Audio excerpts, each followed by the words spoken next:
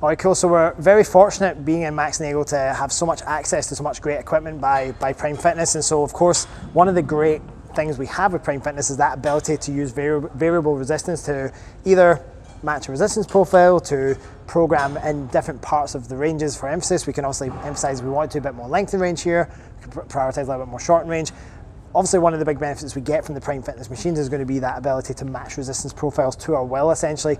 Now a couple of things we have to consider with this though and, and we'll, we'll kind of contrast this a little bit to the cable row as well.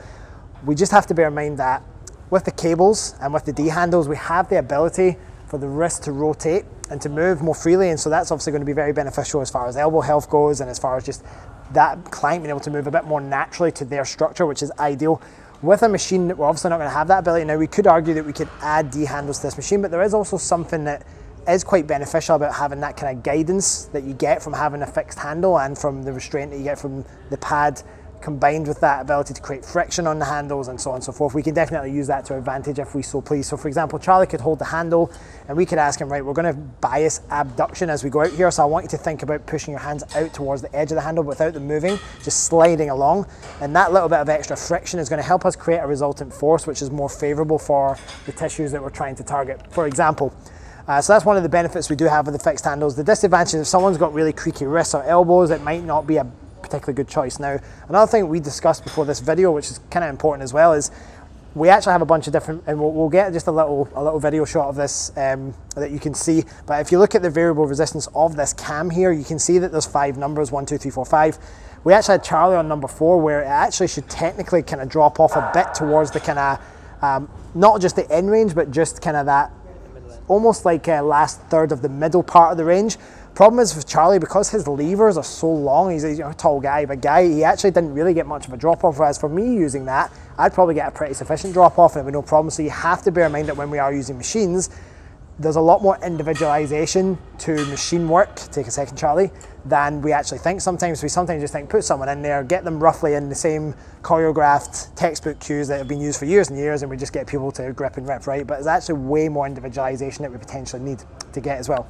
Now, Last point with machines that's quite good as well. Yes, we have the variable resistance, but some of the same things still apply as the cables here. So if we get Charlie to come in again, Obviously, one of the biggest advantages to the machine here is that we have that chest support, so we'll have a maximal ability to keep that bracing and actually being able to use a counter force cue to be able to maximize the direction of tension here. So as Charlie pulls back, my cue might be to get him to lean even more, double down on that lean into the chest pad.